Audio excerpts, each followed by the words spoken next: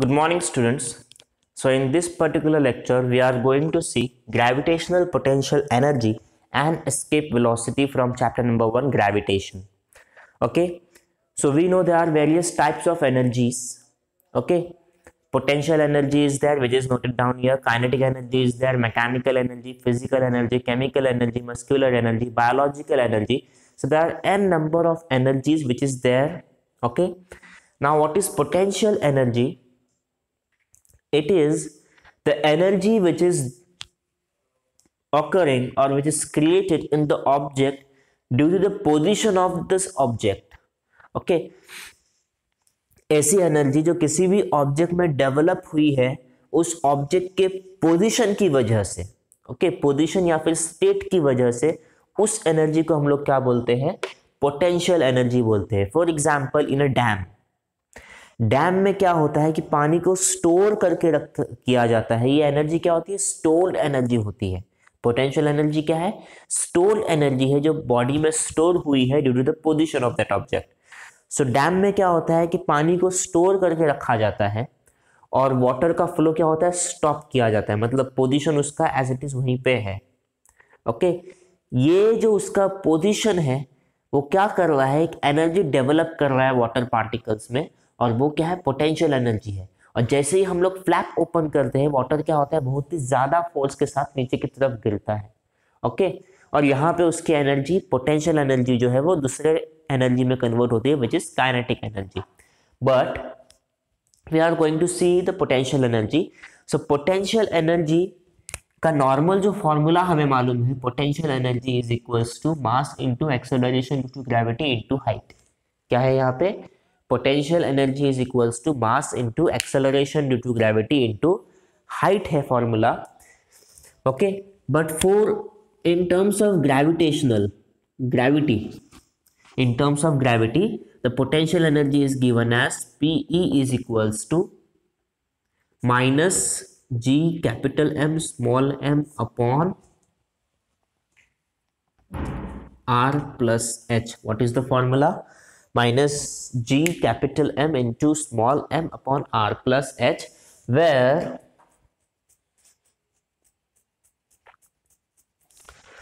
where this capital G is universal gravitational constant. Capital M is the mass of earth. Small m is mass of the object. R is the radius of earth.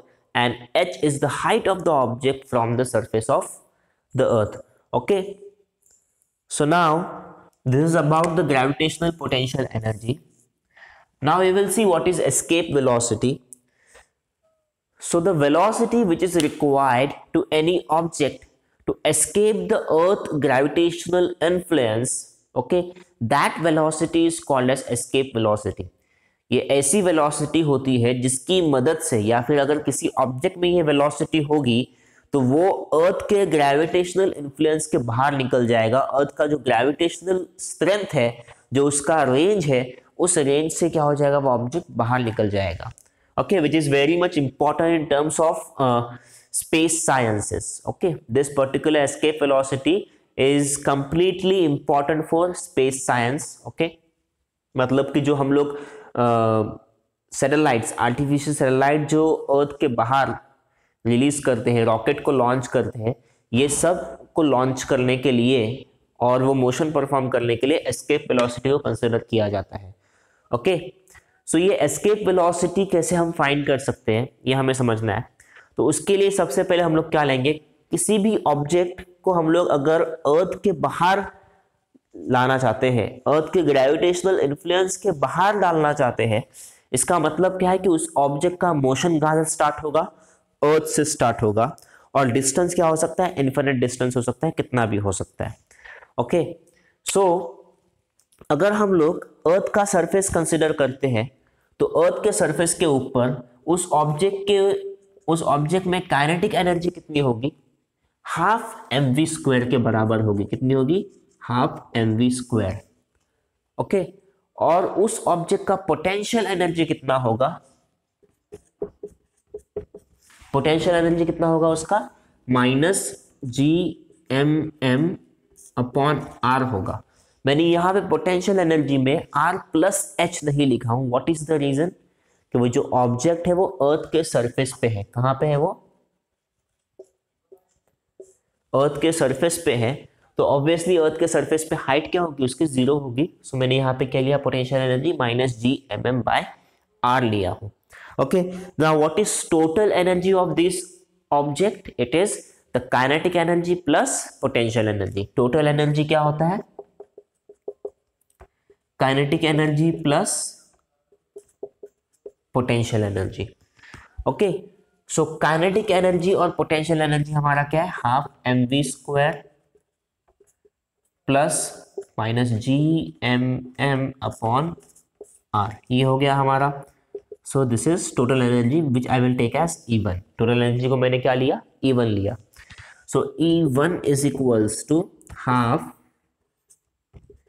M V square this plus into minus will become minus then g m m upon r okay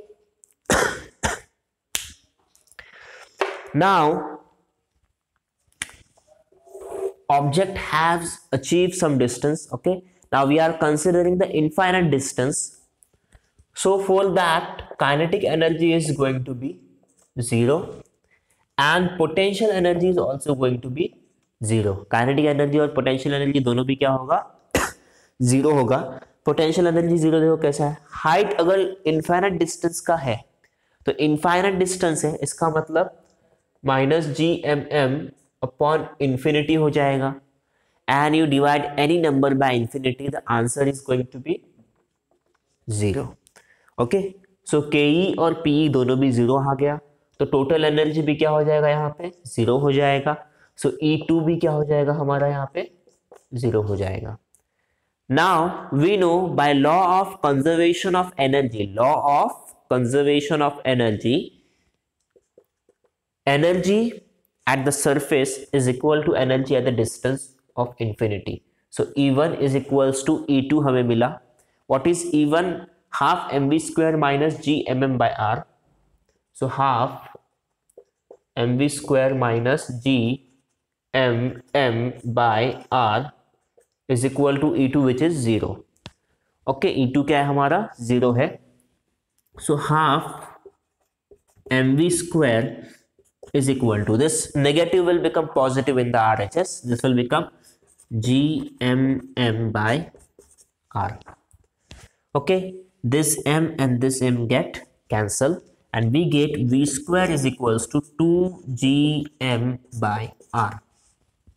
Okay? Therefore V is equals to under root of 2GM by R and this V is nothing but escape velocity which is denoted as VE कैसे denote करते हैं उसको हम लोग VE से denote करते हैं okay we can further simplify this particular formula that is VE is equals to under root of 2GR what I have taken under root of 2GR now how I have taken this value under root of 2GR it is again quite simple we know mg to g m m by r square. Okay m g क्या होता है? G m m by r square होता है. Okay सो अगर मैं एक R को यहाँ पे मल्टीप्लाई करता हूँ